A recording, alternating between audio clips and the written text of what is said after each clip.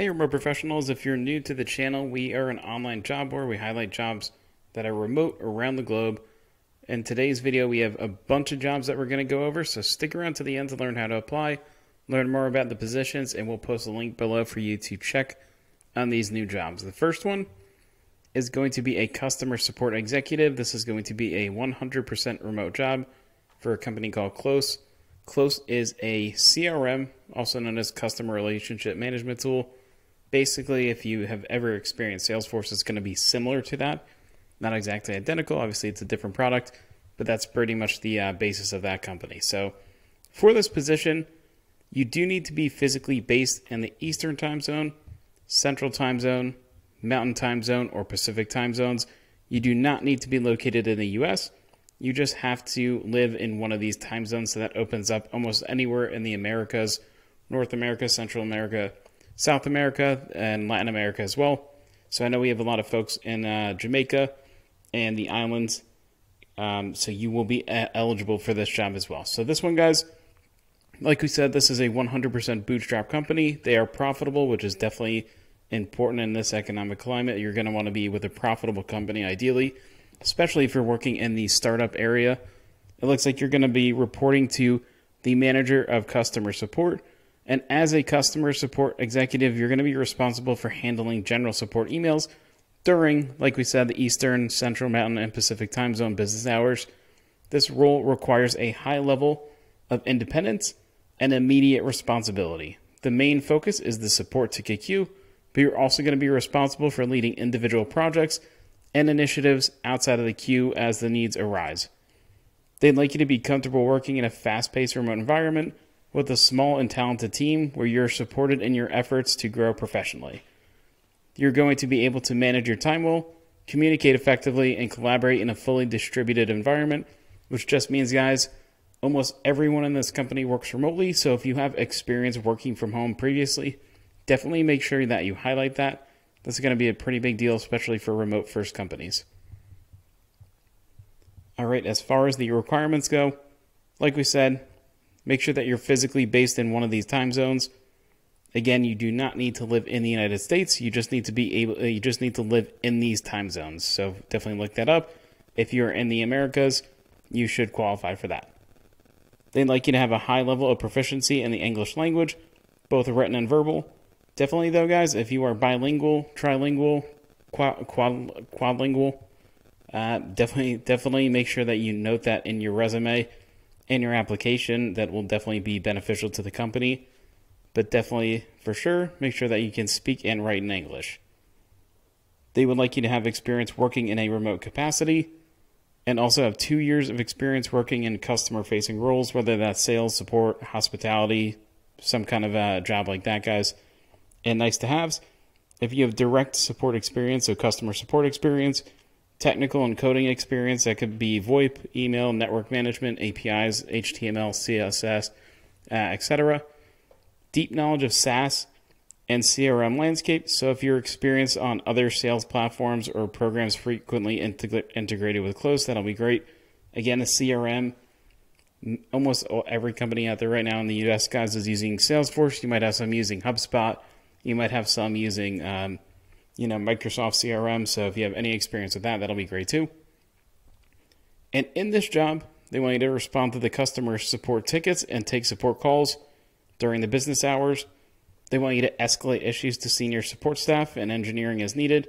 They want you to conduct fraud prevention and detection, billing reconciliation, writing bug reports, coordinating with success to provide extra support to large customers, and maintaining the help center documentation and creating content for new features. Some of the tools that they use Help Scout, Sift, Stripe, Twilio, Plivo, Guru, Asana. So if you have any experience with any any of these, definitely put that in your resume. Give an example of how you used it, when you used it, and what you did to improve it, if you can. And then a few benefits here. Again, they're a 100% remote company.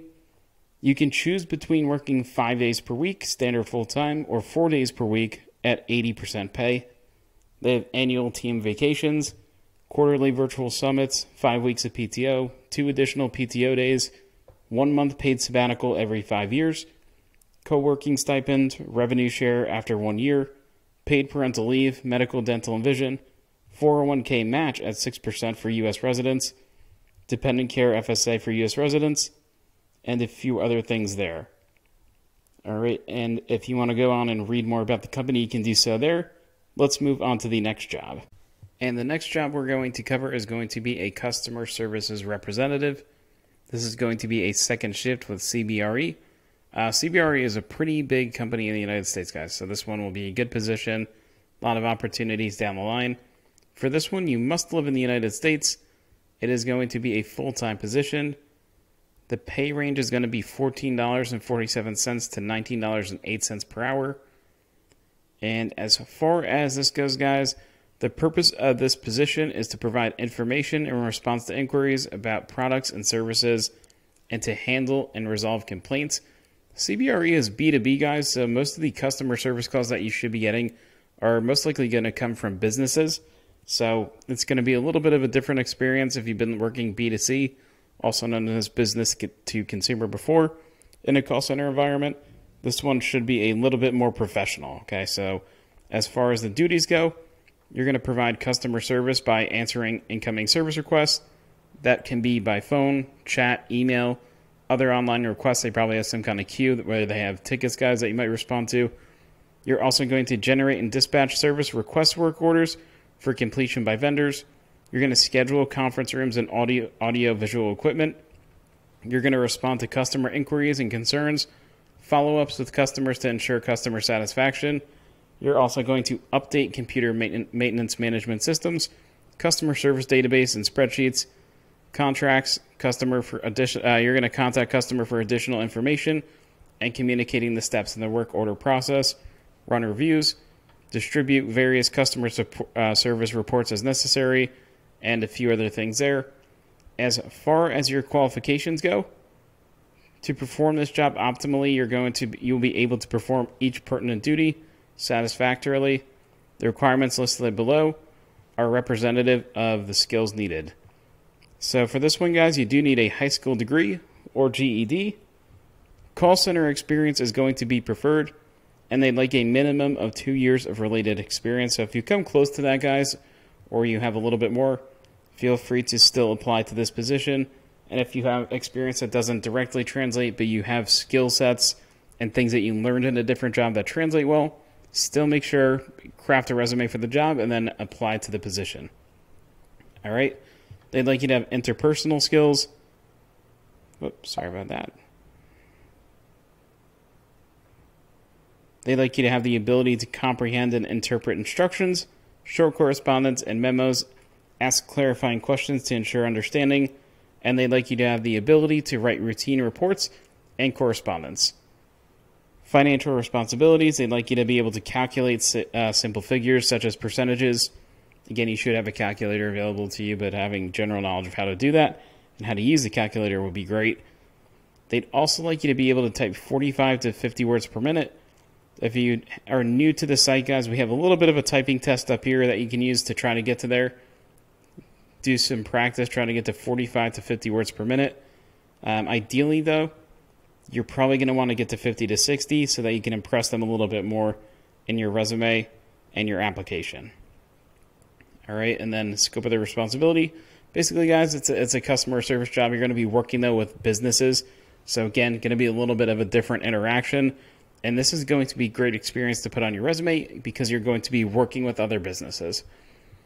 Down here, you're going to see the breakdown of your pay, 30,000 annually, annually to about 39,681 annually.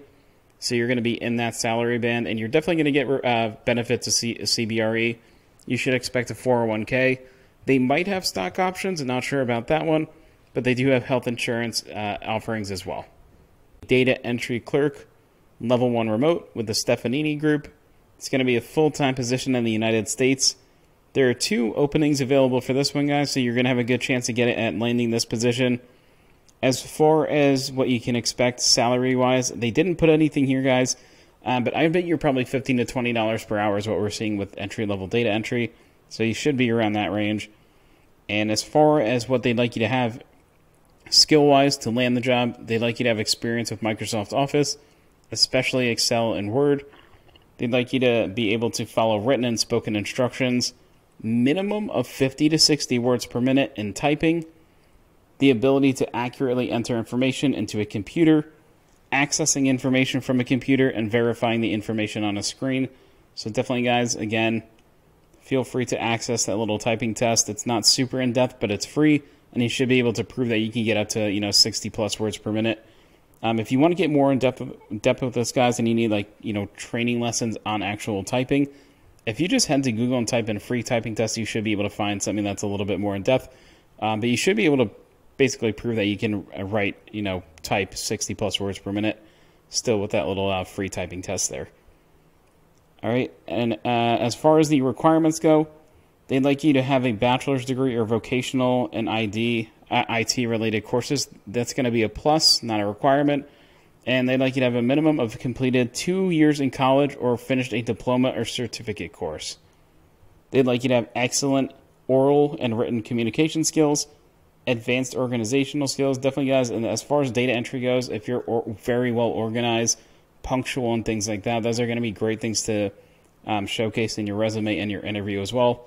Maybe you've experienced, you know, as a project manager and project management, administrative kind of work, and things like that. That'll translate really well to data entry. They'd like you to consistently meet and or exceed required performance criteria so if you have experience with in a job with KPIs, also known as key performance indicators, that's something you're going to want to in- include in this as well. They, they like you to have familiarity and good working knowledge in PC hardware and software troubleshooting.